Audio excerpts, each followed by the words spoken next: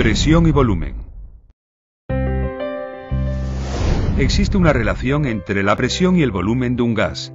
Hemos visto que a medida que descendemos la presión aumenta, mientras que el volumen de la botella disminuye. Al descender, por lo tanto, el volumen del gas se reduce.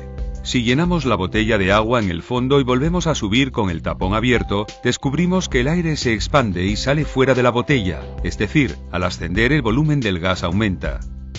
Esta relación entre la presión y el volumen es inversamente proporcional. O sea, cuando la primera aumenta, el segundo disminuye y viceversa. Esto significa que si la presión absoluta se duplica, el volumen del gas se reduce a la mitad, si se triplica se reduce a un tercio y así sucesivamente. Las únicas partes del cuerpo humano que pueden verse afectadas por este fenómeno de variación del volumen son las cavidades gaseosas. Si están conectadas directamente con el exterior, las cavidades gaseosas se comportan de modo distinto que si están cerradas. Si descendemos debajo del agua con un vaso boca abajo, al aumentar la presión se produce una reducción del volumen de aire, por lo que entra agua en el vaso.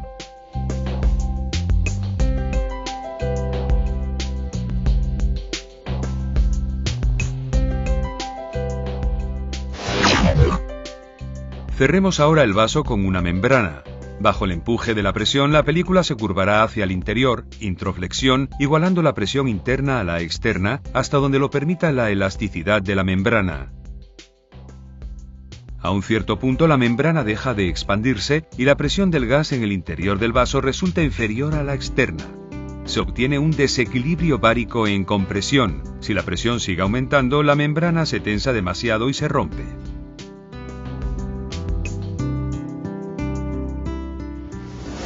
Para evitar el desequilibrio bárico y la rotura de la membrana, basta introducir gas en la cavidad hasta igualar la presión interna a la externa.